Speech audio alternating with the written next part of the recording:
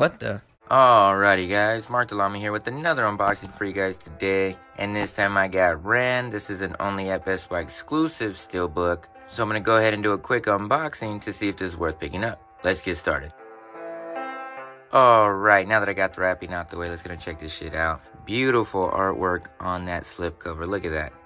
You can see his eye right there. Oh, this is very clean. Very clean. Love it. And this does come with the 4K disc, Blu-ray disc, and that digital copy. Here's that spine and the back. So more beautiful artwork.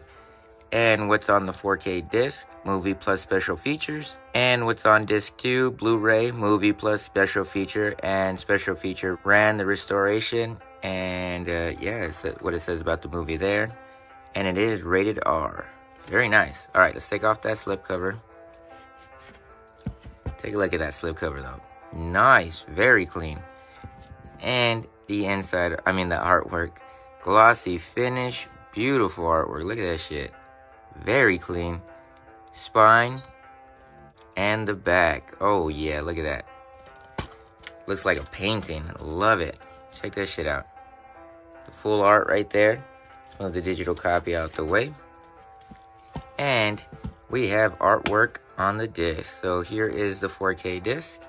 Nice artwork. And the Blu-ray disc with the same artwork. At least they do have artwork. I just wish it was a little different. And the inside artwork. Very nice. Look at that. Steelbook logo right there to make sure it's official. Oh yeah, this is a solid steelbook. But is it worth picking up? I would say yes, definitely worth picking up. This is a beautiful steelbook. Nice artwork. Even the slipcover has nice artwork. Even though it's the same, but it's still nice artwork.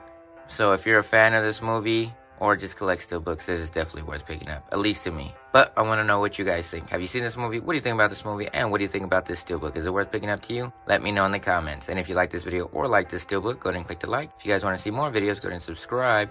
Make sure you turn on notifications so that way you don't miss out on any upcoming videos or giveaways that I do. And for all other things that I post, check out my other social networks like my Instagram, Twitter, and TikTok.